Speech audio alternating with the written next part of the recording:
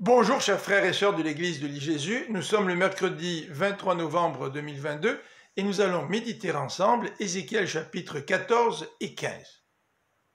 Dans la première moitié du chapitre 14, c'est-à-dire des versets 1 à 14, il est question d'un syncrétisme inacceptable. De quoi s'agit-il dans ce passage? Eh bien, le syncrétisme religieux consiste à adorer les idoles tout en cherchant à consulter l'Éternel. Pour ce dernier, l'important n'est pas de transmettre sa volonté divine à des idolâtres, mais plutôt de les appeler à la conversion et à l'abandon de leurs idoles. Pourquoi des responsables du peuple viendraient-ils consulter l'Éternel alors qu'ils se sont détournés de lui pour s'attacher à ces dieux étrangers? J'interviendrai contre eux, assure l'Éternel, et je les retrancherai du milieu de mon peuple. Dieu va ajouter que si un de ses prophètes se laissait séduire par de tels leaders, il étendrait la main contre eux et les exterminerait du milieu de son peuple. Dans les versets 15 à 23, il est question de la responsabilité des idolâtres. Si une population est infidèle à l'Éternel, le Seigneur enverra contre eux quatre châtiments sévères.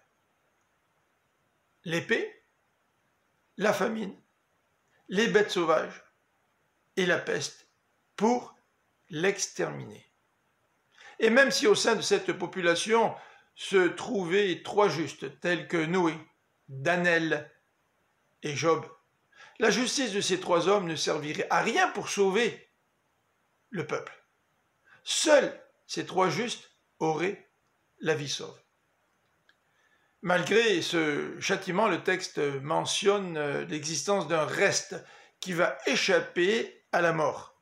Ce reste sera amené en exil pour que les déportés à Babylone, c'est-à-dire ces exilés qui y vivent déjà depuis 597, puissent comprendre qu'avec cette arrivée de ces nouveaux exilés, pour qu'ils puissent comprendre le bien fondé du jugement divin. Au chapitre 15, il est question de l'image de la vigne. Le peuple se croit à l'abri du châtiment de l'Éternel, mais Ézéchiel va dénoncer cette fausse assurance. Le peuple devrait vraiment s'inquiéter. Idolâtre, infidèle à l'alliance conclue avec l'Éternel, le peuple est semblable à un bois de vignes inutiles destinées à être brûlées. Le jugement divin ne les épargnera pas. Il en est de même aussi pour nos contemporains qui vivent comme si le jugement de Dieu ne, serait pas une réalité, en pensant qu'ils pourront y échapper.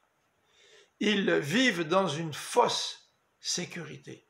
Que l'Éternel puisse les éclairer que l'Éternel puisse les attirer à eux, qu'ils puissent se repentir et se convertir. Je vous souhaite une bonne fin de journée.